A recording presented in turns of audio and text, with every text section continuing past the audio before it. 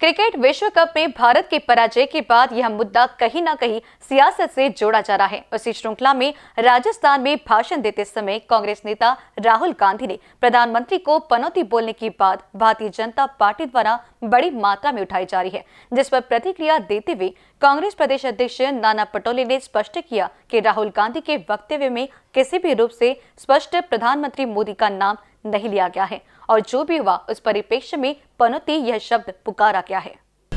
राहुल गांधीजींनी का राजस्थानमध्ये भाषण देत असताना काही तरुणांनी तिकडून आवाज मारला की क्रिकेट मॅचच्या आधारावर पनोती हा शब्द एक मोठा प्रसिद्धी झाला. वर्ल्ड कपचं क्रिकेटचा जो मॅच होता त्याच्यामध्ये भारताची टीम त्याच्यामध्ये हारली. हारल्यानंतर जे सोशल मीडियावर पनोती हा शब्द जो प्रसिद्ध झाला त्या पनोती शब्दाच्या आधारावरच काही मुलं पनोती पनोती असं बोलायला लागले.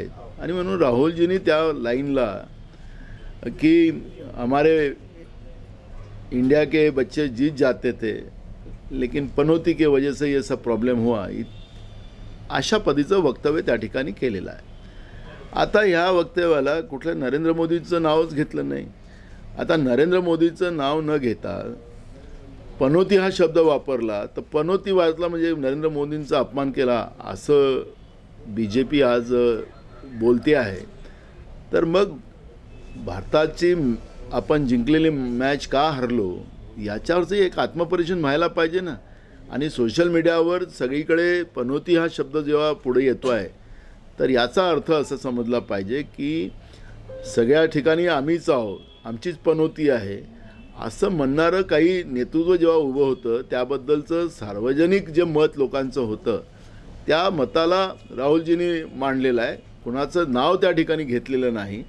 पण भाजपला एवढं का झोंबावं हे काही कळायला कारण नाही. बिलकुल निश्चितपणे झालं. आपण पाहिलं असेल तुम्ही त्या दिवशी ज्या दिवशी मॅच आपलं वर्ल्ड कपचं फायनल मॅच होता त्या दिवशी प्रियंका गांधीजी असतील राहुल गांधीजी असतील यांनी ट्विट करून भारताची चमू जिंकली पाहिजे या पदीच्या शुभेच्छा त्यांना दिलेल्या होत्या.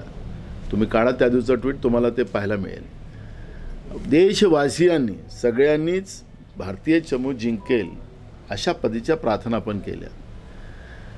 आपण पाहिलं की जेव्हा आपले तीन प्लेयर सुरुवातीलाच आऊट झालेत तर त्याच्यामध्ये काही प्लेयर तर रडायला लागले होते. आपण त्यांच्या डोळ्यातलं पण अश्रू पाहिलेले आहेत. पण ज्या पद्धतीनं या खेळामध्ये राजकारण निर्माण करण्याचं काम सुरू झालेलं आहे त्याचा परिणाम निश्चितपणे खेळाडूवर झालेलाच आहे. देशवासियांच्या भावना पण याच्यामध्ये दुखवल्या गेलेल्या आहेत. आणि म्हणून सोशल मीडिया आपण पाहिलात त्या रात्रीपासून त्याच्या दो दोन तीन दिवसापासून आजही सोशल मीडियावर तेच चाललेलं आहे.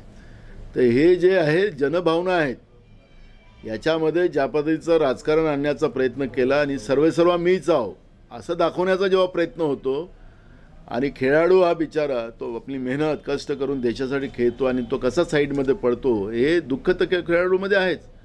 आम्ही खेळाडूंच्या बरोबर आहोत आणि त्याच्यामुळे त्यांच्या भावना काँग्रेसला आणि एक गोष्ट आपण पाहिलं असेल की या दहा वर्षामध्ये आता दहा वर्षच पकडू की जेवढे वर्ल्ड कप झालेत त्याच्यामध्ये भारत जिंकला का? काँग्रेसच्या काळात जिंकत होतो आपण. मी त्याला काँग्रेस भाजप जोडत नाही आहे पण एक गोष्ट समजलं पाहिजे की कुठं तर कुठं खेळामध्ये राजकारण आलेलं आहे आणि त्याचा परिणाम आपण वर्ल्ड कपला सातत्यानं मागं पडतो आहे. हे तुम्हाला अनेक पुराव्यानिशी सांगता येईल. आणि म्हणून खेळामध्ये राजकारण येऊ देऊ नका. आमच्या काळात जिंकत होते हे मी सांगायचं कारण नाही कारण की आम्ही खेळ खेळामध्ये राजकारण आणलं नव्हतं. आणि त्याचाच परिणाम की खेळाडू आपल्या हिमतीनं खेळायचा आणि त्या पद्धतीनं देशासाठी खेळायचा आणि देशासाठी तो वर्ल्ड कप जिंकून आणायचा. हे आपण नेहमी पाहिलेलं आहे.